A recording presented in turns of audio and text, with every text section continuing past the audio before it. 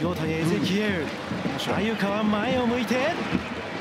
さあどうする？シュート左足権田のセービング。でしたね。ここ鮎川選手1人で行くんですけども最後少しねあのタイミングずらしながらキックフェイントを使いながらのま多分または誘ってると思うんですよね。多分また下からこう抜いたシュートだったと思うんですけどもこれはキーパーからするとね